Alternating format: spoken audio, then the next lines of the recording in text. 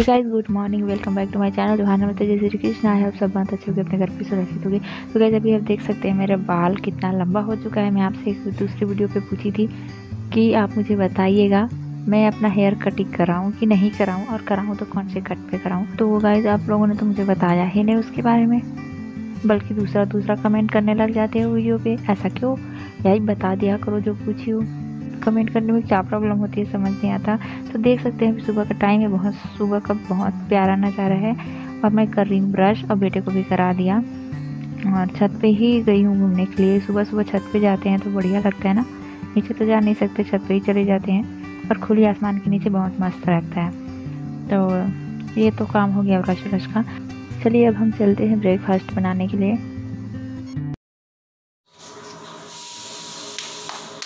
आज का ब्रेकफास्ट है, पोहा बनाई हूँ और मैं, मेरे लिए ही नहीं बनाई हूँ।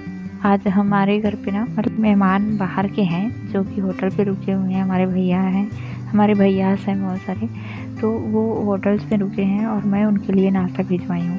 तो हस्बैंड गए हैं देने के लिए, पहुँचाने के लिए। तो यहाँ पे मैं और मेरा बेटा ब्रेकफास्ट कर रहे हैं। तो आप सब सुनना चाहते रहते हैं मेरे बेटे की आवाज़ तो ये लीजिए। आप कहाँ जा रहे हो?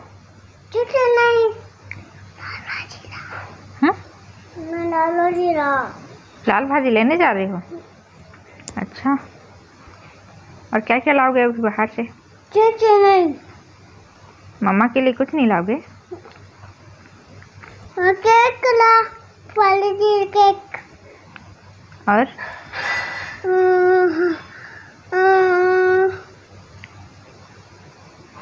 पटाला मैंने पटाला स्लीपर? हाँ।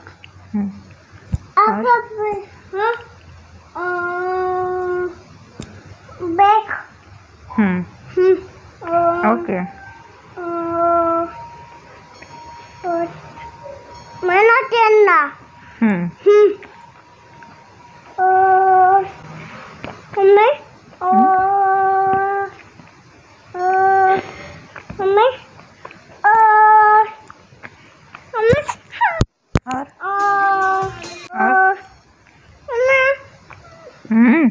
Hey friends जोहार नमस्ते जय श्री कृष्ण आई आप सब बहुत अच्छे होंगे और अपने घर में सुरक्षित हो गए खुश हो गए स्वस्थ हो गए और मैं भी ठीक हूँ, स्वस्थ हूँ, निरोग हूँ, बढ़िया हूँ, खुश हूँ।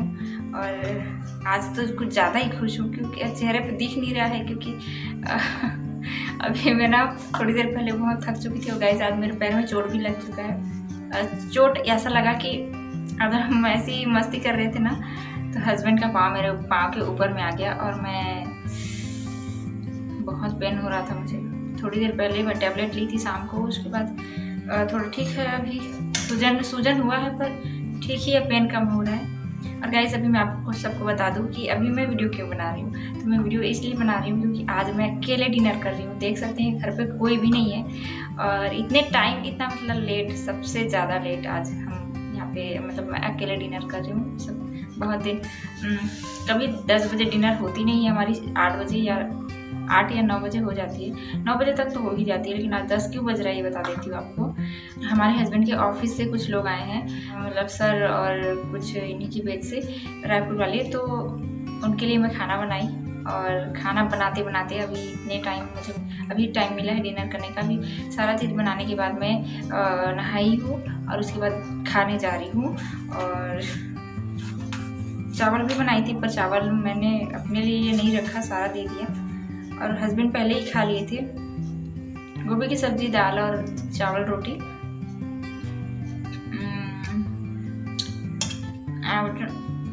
क्या है ना, आज बहुत लेट में आई हूँ। तो इसमें कोई दिक्कत नहीं है। थकी नहीं हूँ मैं, मुझे बहुत खुशी मिल रही है। मुझे बहुत खुशी हो रही है कि मैं आज किसी दूसरे दूसरे लोगों के लिए खाना बनाई तो बहुत अच्छा लग रहा है, बहुत अच्छा फील हो रहा है। क्या होता है ना कभी कभी दूसरों के लिए, जिनके लिए आप कभी खाना बनाए नहीं रहते उनके लिए मौका मिलता है तो बहुत खुशी की बात होती है। और मुझे तो बहुत अच्छा लग रहा है आज। घर पर नहीं बुला पाए, लेकिन भिजवा दिए। और घर पर इसलिए नहीं बुलाई क्योंकि मैं अकेले रहती हूँ और वो लोग तीन, चार लोग हैं तो सारे बॉयस हैं। तो शायद हमको खुद अच्छा नहीं लगता अगर हम यहाँ बुलाते हैं उनको। तो इसलिए वो लोग होटल पर रुके हैं और हमने खाना बना के दे दिया। लोग बाहर का खाना खाना ठीक भी नहीं रहेगा। रहना चलो चलता है, लेकिन खाना बाहर का ठीक नहीं है, इसीलिए हमने सोचा बना देंगे और दे दिया। और गाइस मुझे खाना बनाना बहुत पसंद है तो ज़्यादा लोगों के लिए खाना बनाने का मौका मिलता है तो मैं छोड़ती नहीं मुझे बहुत अच्छा लगता है। फ़र्स्ट टाइम है, मैं किसी और मतलब हस्बैंड के साइड से कोई आए हैं ऑफ़िस से स्पेशली ऑफ़िस से आए हैं। और मैं उनके लिए खाना बनाई हूँ तो मुझे बहुत अच्छा लगता है। और वो अभी जिनके लिए हमने खाना बनाया है ना, वो भैया, उसमें से एक भैया हैं, वो बहुत अच्छे उनकी जितनी तारीफ़ करो, उतना कम है। मेरे लिए ना, हमारे लिए उन्होंने जो किया उस दिन जब हमें बहुत ज़्यादा ज़रूरत थी, बहुत ज़्यादा ज़रूरत थी, उस दिन उन्होंने हमारी हेल्प करी। जब बेटे की तबीयत ख़राब थी ना तो हॉस्पिटल में वही थे हमारे साथ में, और टाइम तक थे मतलब जितनी हेल्प करी है ना बिल्कुल अपने की तरह, ऐसे लग ही नहीं रहे थे कि वो बाहर से फ़र्स्ट टाइम मिले हैं। बहुत अच्छे हैं भैया। थैंक यू भैया, उनकी जितनी तारीफ़ करूँ ना, उतनी कम है। और उस दिन उन्होंने जो किया, हमने सोचा नहीं था कोई बाहर वाले भी ऐसी हेल्प कर सकते हैं। बहुत हेल्प किए थे। उनके घर में हमेशा खुशियाँ बनाए रखना भगवान। उनकी लाइफ में हमेशा खुशियाँ बनाए रखना, कभी भी दुख का सामना ना करना पड़े और किसी को भी ना करना पड़े।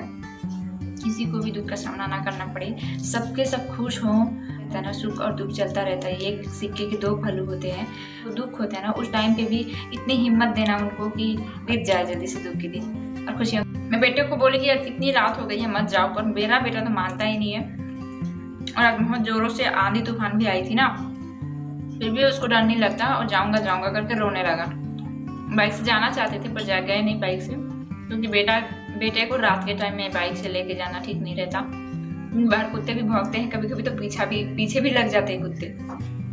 तो बेटा मेरा डर जाता और क्या ना, सो भी जाता है, उसको कब नींद आएगी पता नहीं है। इसलिए सोचे कार वहीं ले चले जाते हैं, लेके गए हैं। और अभी उनको खाना वाना खिलाएँगे, उसके बाद आएँगे।